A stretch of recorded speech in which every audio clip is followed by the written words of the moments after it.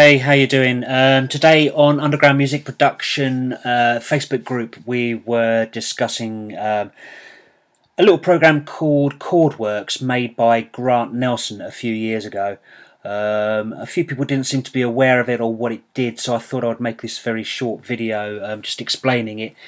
Um, some people may find it handy, some people might not. It's not intended to replace a musician, but um, if you struggle with writing chord protect, uh, progressions or inspiration, um, this may be helpful or it may not. Um, I know there's chord MIDI plugins and stuff in a lot of DAWs nowadays, but um, thought it might be worth doing this. Uh, couldn't seem to find any other videos on it on, on, on the web, so um, a quick demonstration of, of, of how it works. Um, so I've got a basic uh, drum uh, beat that I've just whipped up rather quickly. just consists of a 909 kit and a drummer track in Logic. Um, let's just give that a quick spin.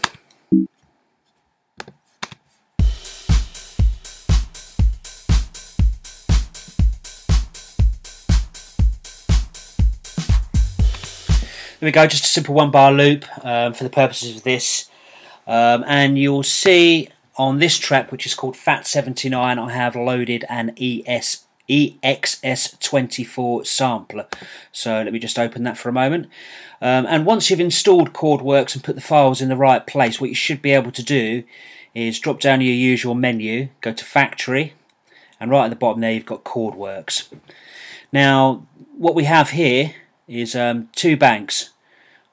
Um, one that says EXS24, one that says patterns. Um, the patterns are Rex files, they're pre designed chord progressions that you can just drop straight into a track. Um, could be useful for inspiration. Um, and in the EXS24 section, we have two subsections by key and by style. So if you're doing a remix with uh, with a with a full vocal and you know the key of the song, you could select that key.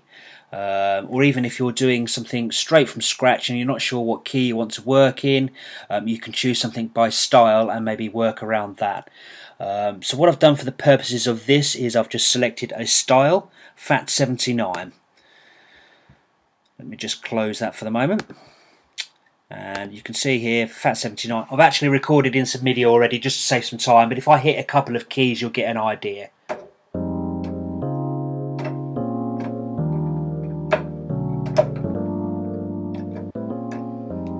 There we go. So that's literally one finger playing on my keyboard and it's giving nice lush chords with the Rhodes.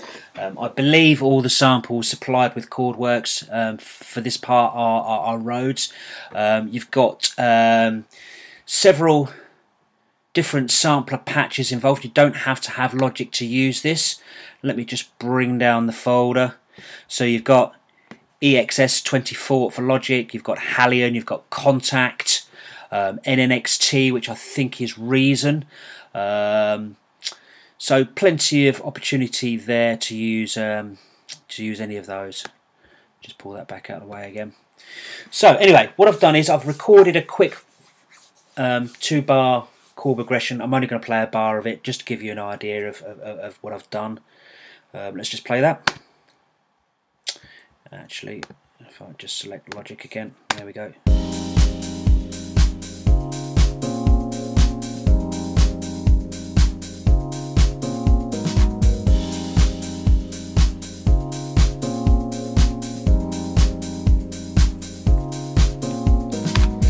There we go. Just you know, very basic, purely just for the the, the purposes of this. Um, so you've got a uh, a track with your MIDI recorded on it, and it's playing the chords.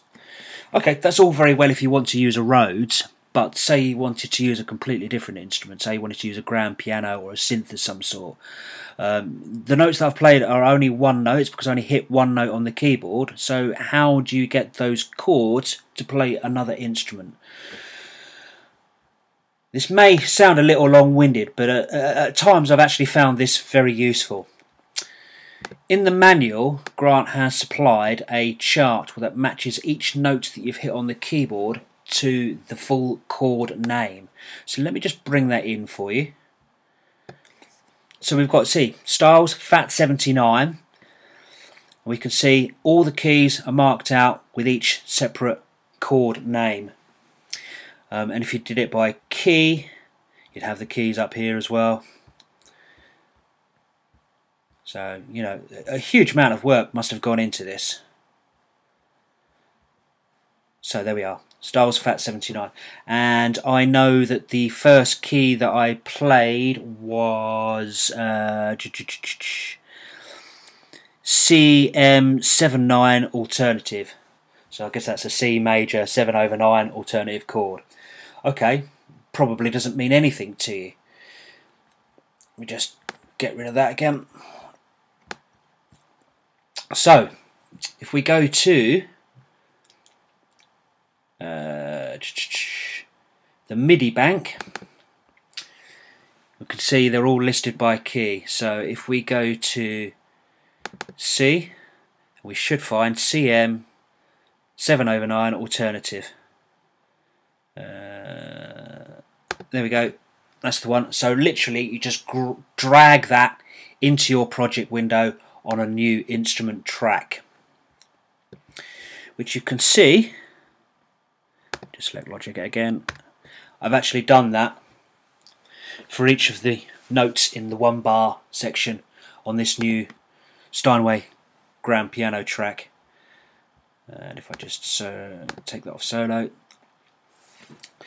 you will find when you drag the MIDI in, obviously the pattern and the length of the notes aren't going to match what you played. So you have to do a little bit of jiggling about and lining up. But the end result is this.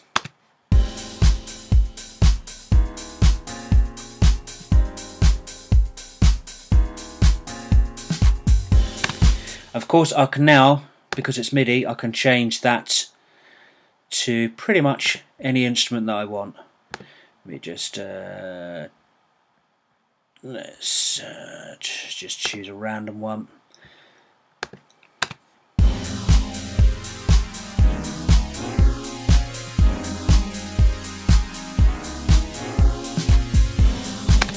There we go. So we've gone from playing a one note on the keyboard, playing a Rhodes chord, to any instrument that you want, following the same chord progression. Um, the great thing is as well then, because it's MIDI, you could actually change the voicings on these as well. So you could you can just move notes about. So um, there you go. That's uh, Grant Nelson's Chordworx. Um, some people may find it useful. Some people might find it too long-winded. Um, I don't think it was ever intended to replace a musician, but hopefully it may inspire or inject some uh, more complex musicianship into your writing. Um, hope that helps you all, and uh, thank you very much for listening.